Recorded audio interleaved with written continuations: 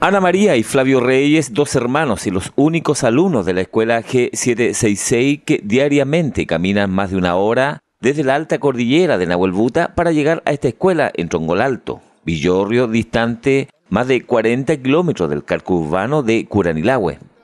Escuela donde se reunió el Consejo en pleno para realizar una sesión extraordinaria y conocer en terreno y atender los requerimientos de estos más de 250 habitantes distribuidos en 50 familias de este lejano sector rural.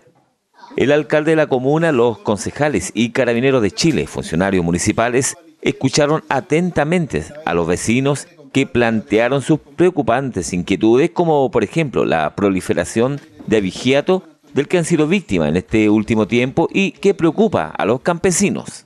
Para nosotros es muy importante tener la visita de nuestra primera autoridad, ¿cierto? Para que él se dé cuenta de los temas que nosotros necesitamos plantear.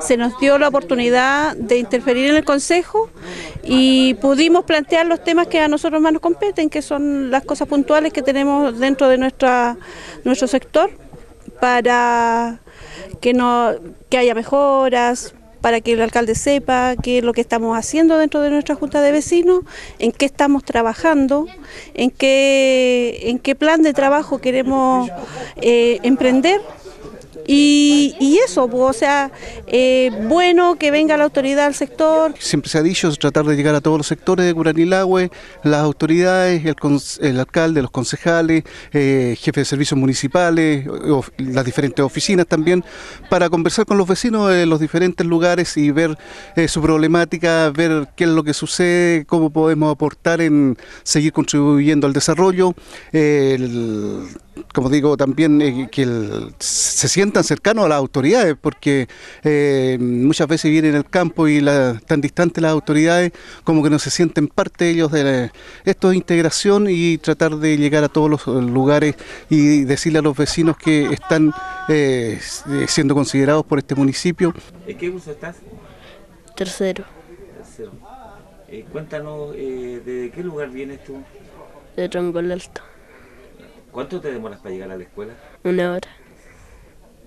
¿Una hora caminando? Sí. Los vecinos de este sector tienen como proyecciones fomentar y explotar el área turística, dar a conocer las tremendas riquezas que ofrece este sector, como crear agendas turísticas, explotar la gastronomía. En otras materias se plantearon problemáticas en relación a conectividad y la conservación de la red de caminos interiores, el apoyo para la construcción de una sede comunitaria y fomento de actividades turísticas y productivas.